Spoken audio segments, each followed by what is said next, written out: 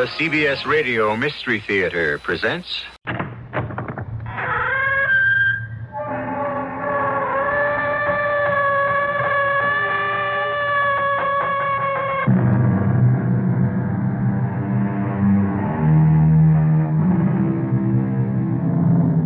Come in.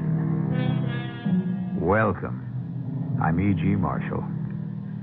I'm always delighted when I come across a new Gothic tale, but never more so than when it happens to be written by someone unlikely. Say, for example, Captain Frederick Marryat, who was popular in his day with young readers for his tales of sea adventure, such as Midshipman Ready. This one, however, is a savage, bloody, haunting tale of another color. Or to be precise, a wolf. What is it, Herman? There, father. Through the trees. The white wolf. Give me my gun. No, no. I have a bead on her already. Why do you say her? Because Marcella thinks it's a she wolf. Now. No! Why did you knock my gun in the air? Because. Because, don't you see? It is not a wolf who comes to us, but a woman. A beautiful woman.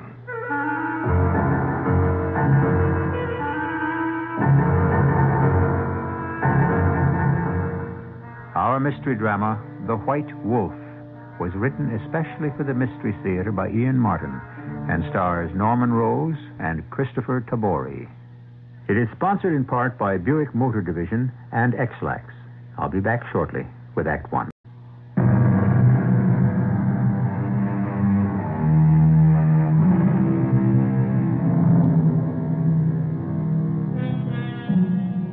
Legends of lycanthropy must be as old as man himself.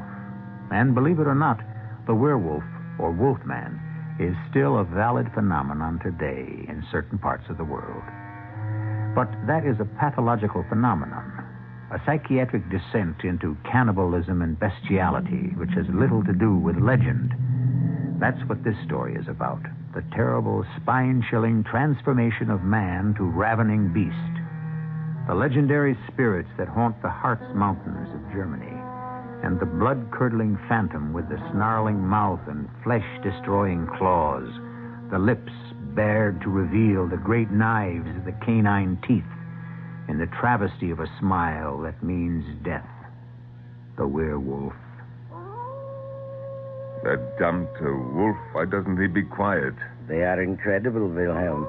Somehow they smell blood. How? The animal must be a league away. What are you? Medical doctor or witch doctor, Franz Baum? Mm, the first, I hope. But I have also lived my life in the shadow of these mountains. How's the boy? We can let Herman answer that for himself. You, you feel better from the bleeding? I, I don't know, Herr Doctor. I feel weak as a kitten still. Of course, of course. But I think the fever has abated. Yes. Yes, give me a fresh, damp cloth, Wilhelm. Ah, the water is all but gone. I'll have Marcella bring some. First, let us rid ourselves of this basin of blood. No sight for a young girl. I'll throw it in the midden. No, no. You dare not do that. That wolf out there, whatever he is, don't do anything to attract him to your house. I will rid you of the blood I have let. How? I have some containers. I'll take it back to Coburg. With me, I can use it for my experiments. Sleep. Sleep, my boy, and wake refreshed. I, I'm afraid that's just what I'm going to do. Doctor, is he all right? Of course, I gave him a draught to help him rest. Ah, I must get my gun. Time, time enough. Let me get away. It grows dark. You are sure Herman will recover? I have every hope. But really, Wilhelm, I must protest again. This lost woodsman's cottage on the edge of nowhere is not a place to bind your children to. Franz, let us not argue it again. You know why I hide here like a criminal. Why do I say like a criminal? I am one in the eyes of the law. I thought you said Herman was asleep. I hope. But you're speaking loud enough for Marcel and your little boy Caesar to hear. Sounds carry in such a small cabin. From outside as well as in, it seems. Damned wolf. Papa, come quickly. Is Doctor's terrified. He's hiding below the bed and won't come out. No, no, hush, darling. I am just going to get my gun. Better I leave, Wilhelm. Once I am gone, your wolf will not trouble you, I think.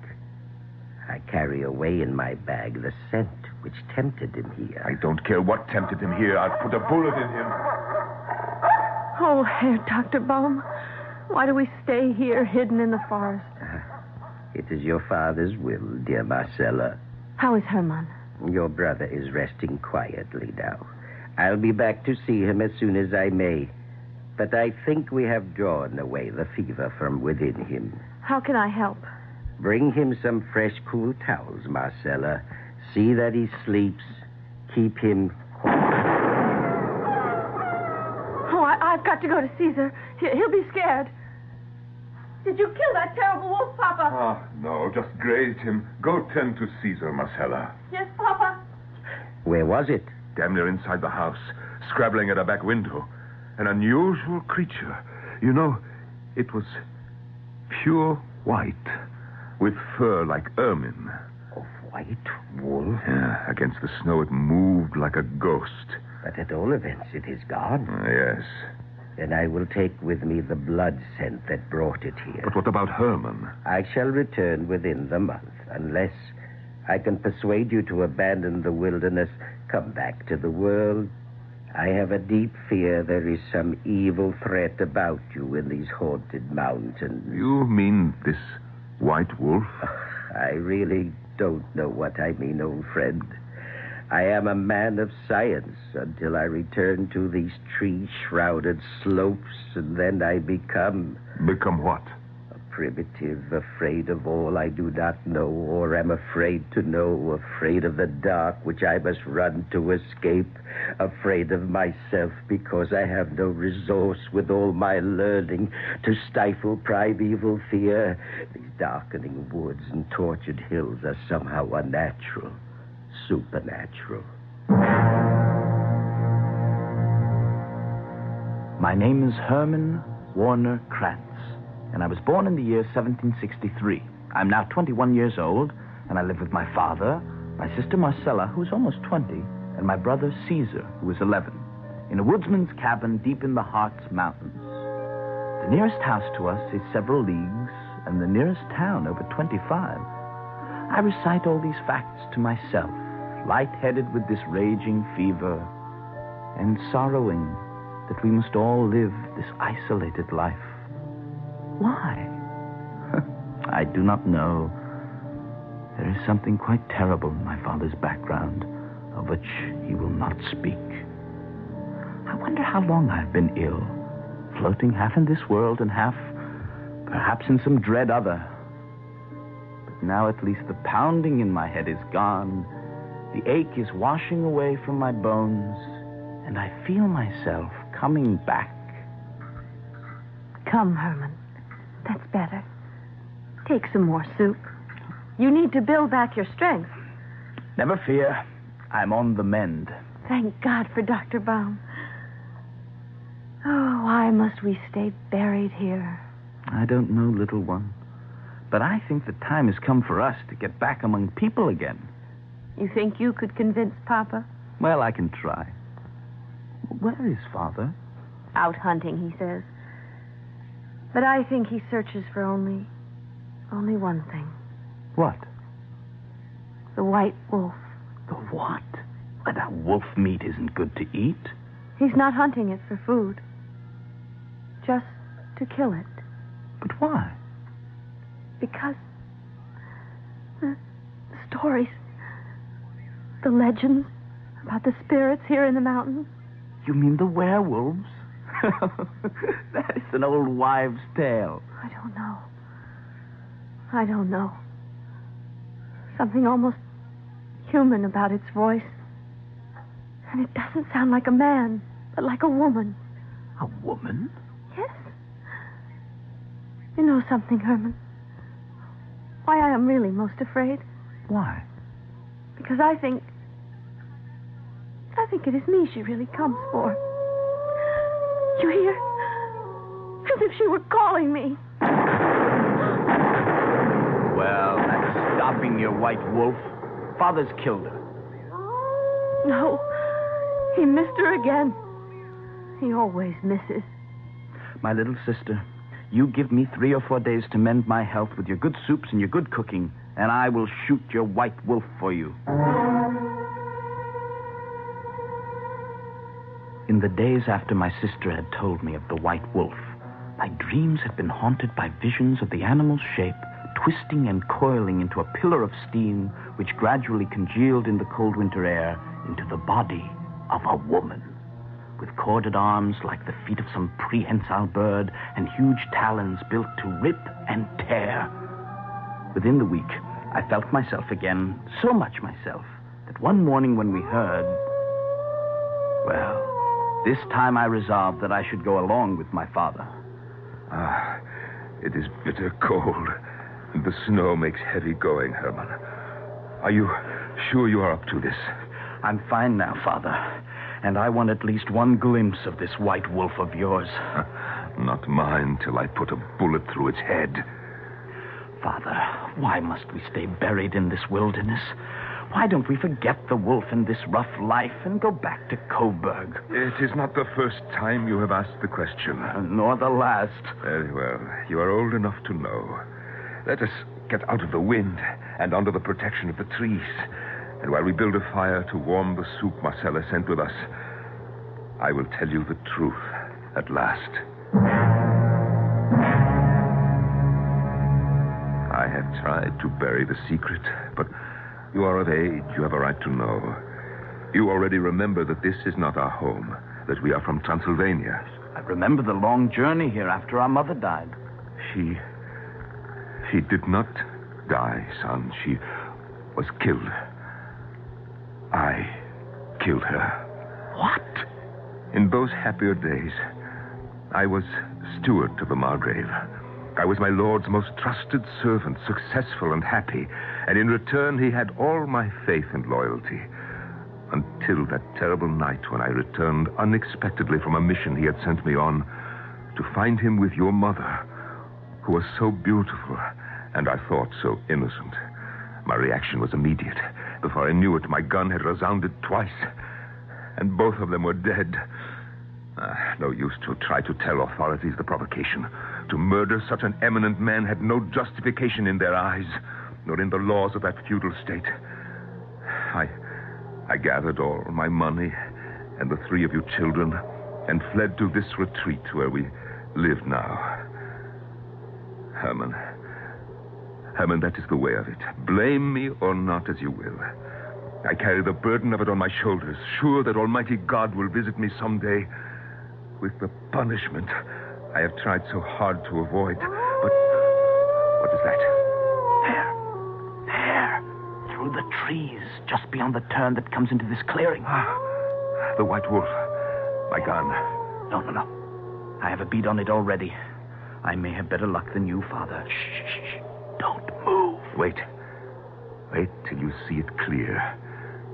And make sure. I have her right in my sight. Her? Marcella thinks the wolf is a female. And now. Why did you knock the gun in the air? Herman, don't you see? It is not a wolf who comes to us. It is a woman. And a beautiful one at that. How fortunate that young Herman did not kill this lovely woman who had materialized as though out of nowhere. Or would it have been, in hindsight, so terrible a thing? Let's wait for the woman to declare herself first before we judge. I shall be back shortly with Act Two.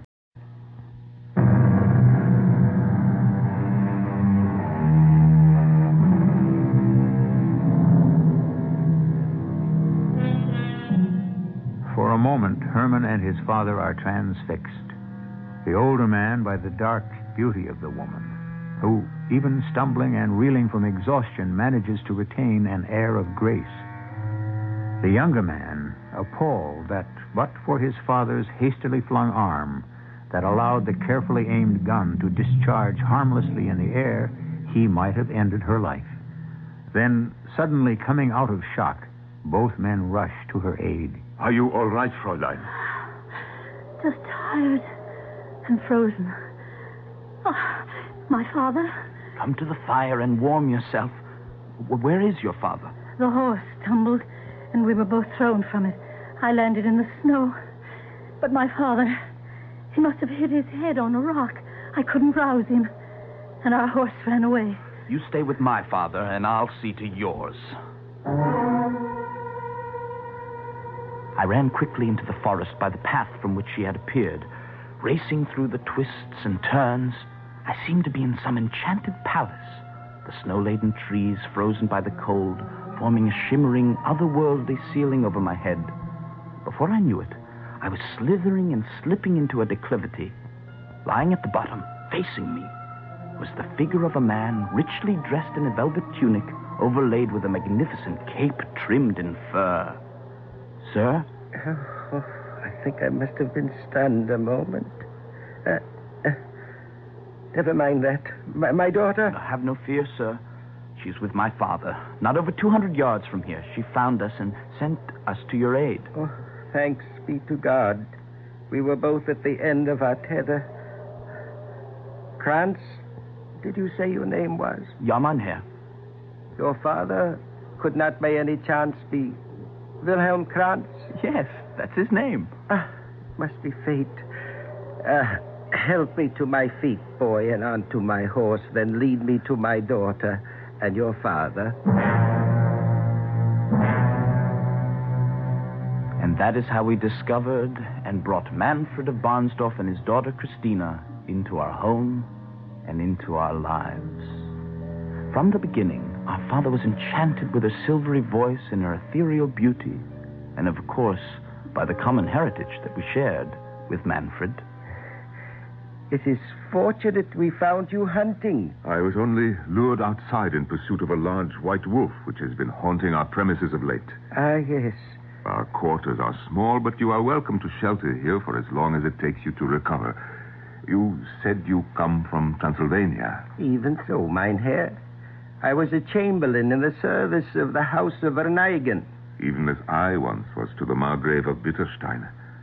But why would you leave such a fine position?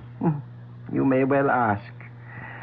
My master conceived a desire for my daughter, not as legal wife, but simply to use for his pleasure. And it ended up by my giving him a few inches of my hunting knife. Then we are brothers in misfortune, my dear sir. Ah, brother, indeed. You need not renew your grief by telling me your story, which I know only too well. We are comrades in misfortune. Well, you shall make this your home as long as you desire. Did you hear, Marcella? Yes, brother. It seems our family is to be enlarged. Oh, I pray not. Why? I don't know. I cannot bear to look on that woman. For all her beauty, she frightens me so. Although I was fascinated with Christina, some deep chord in me echoed Marcella's fear. Yet it seemed unreasonable.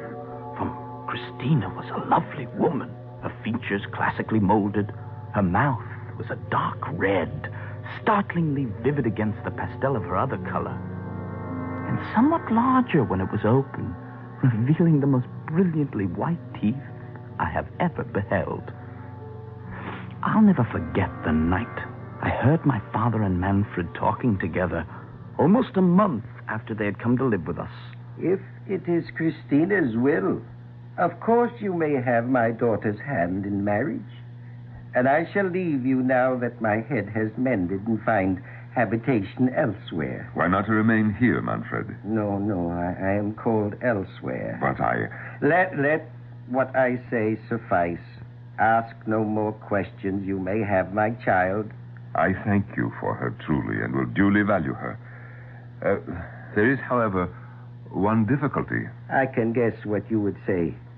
There is no priest here in this wild country, nor is there law to bind. Still, there must pass between you some ceremony to satisfy your father. Of course. But what? Will you consent to marry her after my fashion? Yes, I will. Then I shall marry you directly. Christina, Yes, Father? I wish you in here directly. Coming. I will get my children. No need. This is amongst us elders. What is your wish, Father? Less my wish than yours. You wish to marry Wilhelm? Ah, if it is his wish, it is my dearest one. Then come. Take hands. What is that? Your wedding march. You have her hand. Yes. Then swear by all the spirits of the Harz Mountain. I swear, but why not by heaven? Because it is not my humor.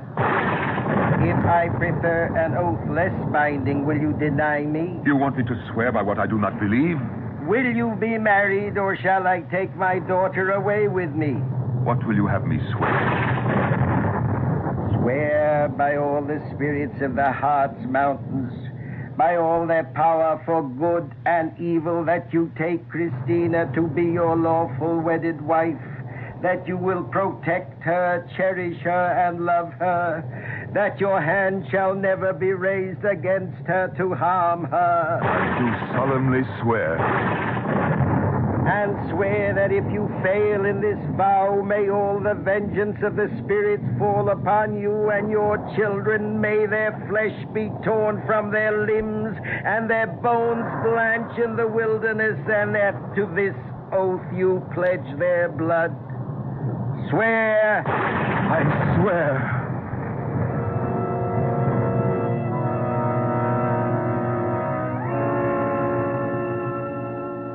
Such was the second marriage of my father.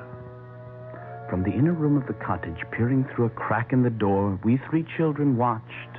I with an arm about Caesar, who was struck dumb, and my sister Marcella, who was trembling from hand to foot with fright and despair. The next morning, our life with our stepmother began. Marcella, come here at once. Yes? Marcella. I'm sorry. I. Yes? Who? Yes. Mother. You find it so difficult to say. Yes. Uh, no. I, I mean, just strange. How do you mean, strange? Just that. that my real mother has been. I mean, we have had no mother for so long that it's hard to say. You will learn to say it and to treat me as one and to obey me. All of you. And when I call, I want you to come quicker. I'm sorry. I, Sorry, who? I'm sorry, Mother. I was preparing a soup for, for Who the dinner. told you to do that? Why, no one. But I always From now for- on, I will be in charge of what we eat. You will cook and clean and wash the dishes and do the household chores. But I decide what we eat and how we eat it. Yes, Mother. That's better. Now, you can prepare the vegetables and set the table. I will prepare the meat. Herman, Herman, wake up. Hmm. Well, what is it? It's her, Uh, who? the stepmother. She's gone out. Go- gone out? Yes.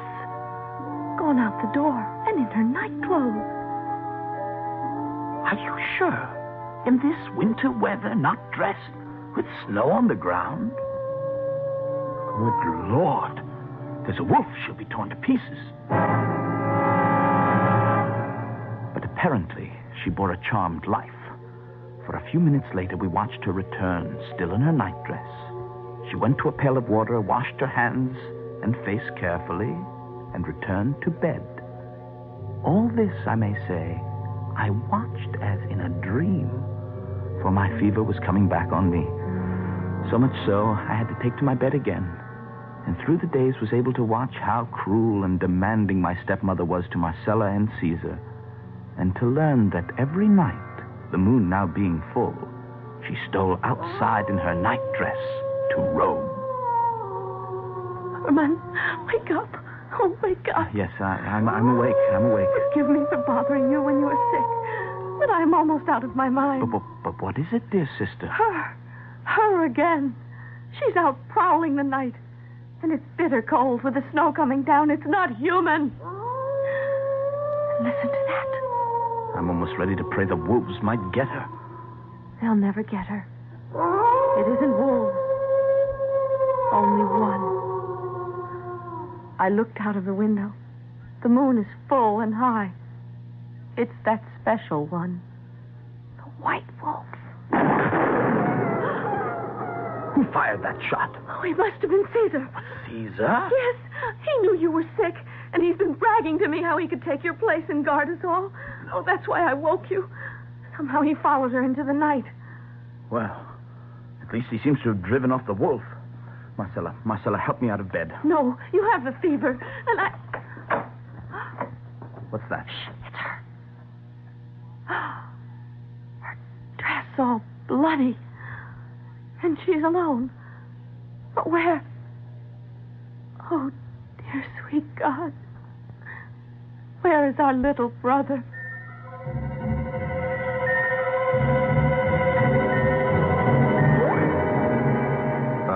The door, the watching girl suddenly feels the blood drain from her head, and a wave of faintness makes her reach for support. In the room outside, the woman turns, moving silently to her bedroom. Her wide mouth open in a caricature of a smile. There is blood on her gleaming teeth. I shall return shortly with Act Three.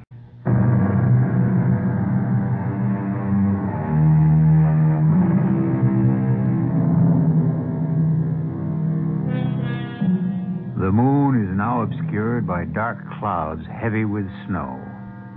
Outside the cabin, the snow is pouring down. And what might be a small figure dark against the snow has now become only a minor unevenness in the white carpet. Inside the cottage, Marcella, noticing her brother's weakness, has gone to his aid. Herman, brother, let me help you lie down. No, no, no, no. I'm all right. You watch her. What is she doing now? She's going into their bedroom. Shh. Wait. Uh, who is it? Lie still, dearest. It's only me. I have lighted the fire to warm some water. I'm not quite well. What? I'll get up, Christina. No need. It's nothing. I can manage myself.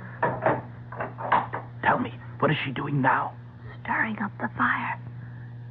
And now she is changing her linen and. Her right leg is bleeding. As if. Wait. Let me see. For myself. As I watched in horror, half supported by my little sister, I saw the wound in her leg. There was no mistaking that a bullet had grazed her. I fought back the red mist that was beginning to swim before my eyes long enough to see her remove those parts of clothing that were stained with blood and burn them in the fire after bandaging her leg. Then as she sat, huddled before the flames, the last thing I saw was her wiping her lips daintily and casting the kerchief into the roaring blaze. When I woke up, Marcella was sitting in a chair by my bed. All right, Herman. Uh, yes, yes. I feel better, uh, but weak. The. the fever's gone. You were with me all night? Yes. I was afraid to go to bed. She's still sitting there in front of the fire. And Caesar? Did he come back? No. He never returned. Oh, Hem, where is he? How was she wounded unless it was from his gun? And if that's how she was wounded, then that means that she's. Good morning, Christina, my dear. You're up and about early. I thought to make your breakfast. Why? Where is Marcella and the boy? Hey, quick, go ask him where is Caesar. All right. Oh, there you are, Marcella. What are you doing in Herman's room? If you please, Father. Herman has the fever again. He cannot rise from his bed. Where is my little brother, Caesar? Is he not in his room? No, his bed has not been slept in. And he is nowhere in the house. Ah, merciful heavens. Perhaps that's what woke me. I was restless and not feeling well, and I thought I heard the door latch opening. But when I came out, the room was empty. Why would the boy. Ah! What is it, Christina? Ah! My dear husband, nothing, I hope. But your gun is missing. It's no longer hanging over the chimney. Father, Papa, I, I thought I heard the white wolf last night. And Hush, the- hush, child. A little boy. Christina, hand me my broad axe. Leaning weakly against the door, I had heard and seen all this. And when my father went out without another word, in the short while he was gone, I was able to dress myself so that I was just coming out into the main room as he returned. Caesar! Oh, no! Uh, no! No, clear, oh, clear the table, Christina, so I may lay him down. Yes, husband. Now stop your weeping, girl, and help her. Yes, yes, Papa. You may put him down now, Wilhelm. Yes. Ah, poor, broken little body. Savaged and mangled. The boy must have taken your gun down and gone after some wolf. But the animal was too powerful for him. Ah, poor child. A dear price to pay for such rashness.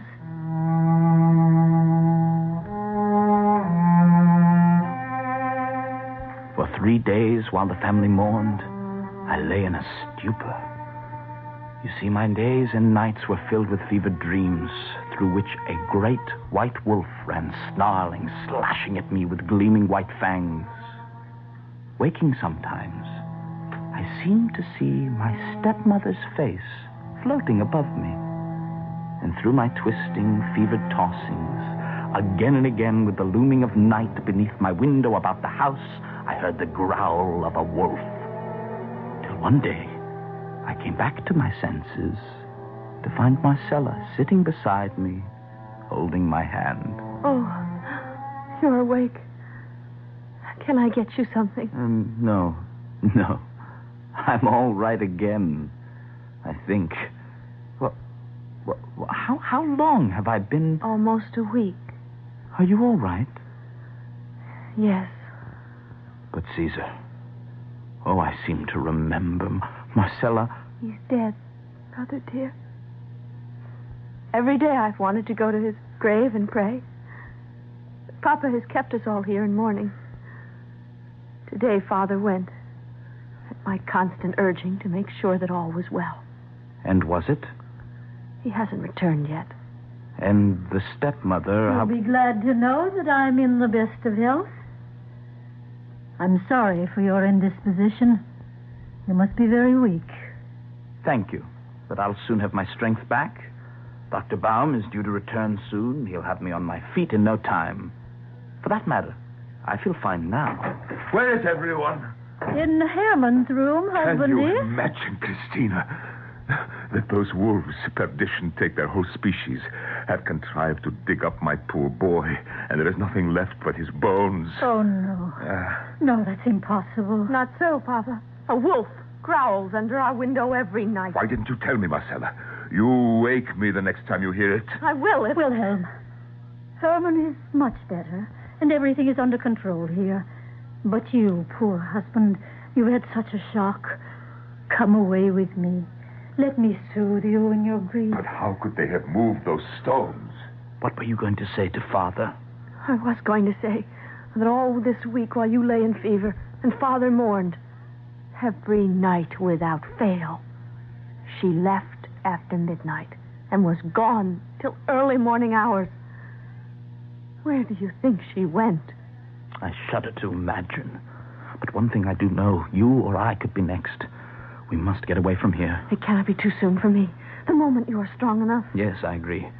Until then, we must stay together, always. except when Papa is in the house, we. We're safe with him. But he could be in danger, too. Well, it's a danger he'll have to face. Perhaps this is his retribution for killing our mother. Remember, I told you. Yes. But first, we must think of you. And then when the time comes, we will do what has to be done.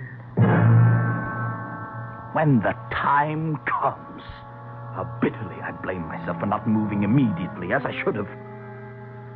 Dr. Baum arrived suddenly, just as I had a full remission of my fevers and my weakness. I was still abed, but ready to rise. More ready, I suppose, than the good doctor realized, else I would never have heard his fatal words. These anemic conditions, a kind of cancer of the blood for which there is no known cure yet. Some colleagues lean to the name leukemia, but even in the enlightened 18th century, we have no way to stop it from being terminal. How long? Uh, who knows exactly? A week, a month, and certainly not much longer. Probably sooner than later. I stumbled away from inside the front door where I had been listening. I fell on my bed and wept. Why? Why had God singled me out for this fate? By that very night, I was to know. It was shortly before twilight when the doctor left. An hour, perhaps a little longer, had passed, when suddenly I was summoned out of my melancholy by. Marcella! Marcella! Father! Where is she? She went out to pick some herbs for no, dinner. no, I don't mean my sister. I mean your wife. Christina, out walking. Not, not, not Christina. She is the white wolf. Don't you know what you married? Herman, Herman, my poor boy. You are under the influence of a fever. You don't know what you're saying. Don't I? Well, look. There. There, you see. Ah, that damned white wolf. Give me my gun. What is it, Christina? What is it? Did you see a white wolf? Yes, but what is it? Oh, it's too horrible to think of. Marcella. Oh, no. No, no, I can't say it. She. Not dead. I'm afraid so. My loving stepson. That wolf has torn her to pieces. For several days, I thought my father would never recover from the shock of losing his second child. I was numb myself. Together, we buried her, although it was two days before he could bear to consign Marcella to what he called her last resting place. If only that could have been true. But the monster was not yet satisfied, nor was I. On the third night after my sister was buried, I watched that foul woman, or whatever she was, rise and leave the house. Immediately, I went and wakened my father. Who is it? It's Herman, father. You come with me. But where are we going? What are you doing with my gun? We're going to kill the white wolf. But first, I want you to see her for what she really is. It was bright moonlight sister's grave. And there, oh, too ghastly to relate, was my stepmother in her white nightgown tearing away the stones piled above the grave. She was frantic with haste. In a moment, she was in the grave and ready to rend the sweet flesh apart with her hands, ready to devour it. Oh, great God in heaven. Your wife, or what passes for one. See what you sold yourself, and us too. This time, I will make sure there is no miss. She dropped like a stone, a bullet through her head. We rushed to the grave. But imagine our horror to find, lying across the remains of my dead sister, not my stepmother, but the body of a large white wolf. What have you done to my daughter, Wilhelm? She? Should be, Manfred of Ponsdorf. Where fiends belong. In hell, I hope. Remember your oath that you would never harm her. I made no compact with evil spirits. You did.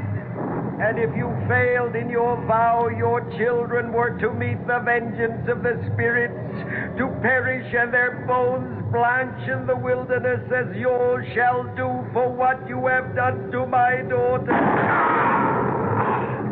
A bullet for a bullet. But my daughter is immortal and will wreak her revenge on the last of your blood. Up, Christina, up! Great weakness was upon me again, and I watched transfixed as in a flare of lightning the body of the wolf twitched and then dissolved in a blinding white light out of which Christina appeared. Taking her father's hands, she leapt up behind him on the horse, her voice carrying on the wind as they disappeared. I will be back for you, Herman. Never fear. I will be back.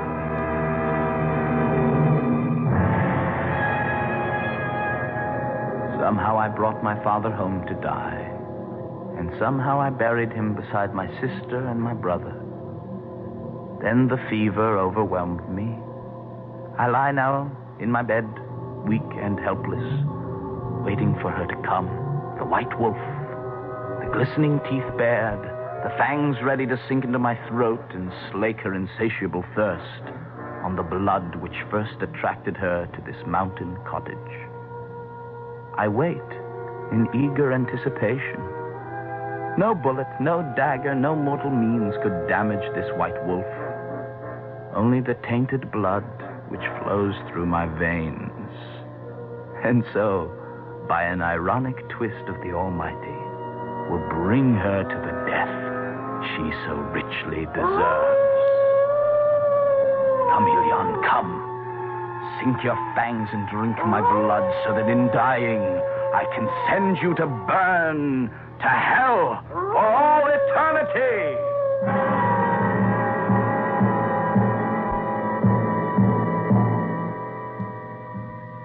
Feel a shudder run through you?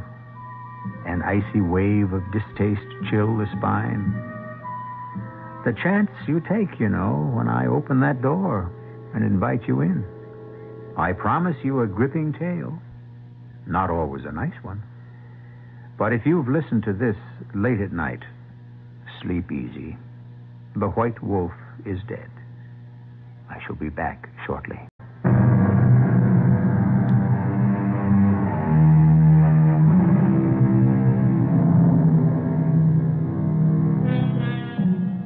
I know there is a move afoot to persuade us that the wolf is a much maligned creature, that he is a loving, a good companion, and never kills except for food and sustenance. I'm sure it may be so, but I'll take it on faith. I don't want to prove it by testing the theory. Personally, every time I hear a wolf howl, which is not often, I'm glad to say, I'm tempted to revert to childhood and hide my head under the nearest blanket. Our cast included Norman Rose, Kristoffer Tabori, Jada Rowland, Ann Shepherd, and Paul Tripp. The entire production was under the direction of Himan Brown. Radio Mystery Theater was sponsored in part by True Value Hardware Stores. This is E.G. Marshall inviting you to return to our Mystery Theater for another adventure in the macabre. Until next time, pleasant dreams.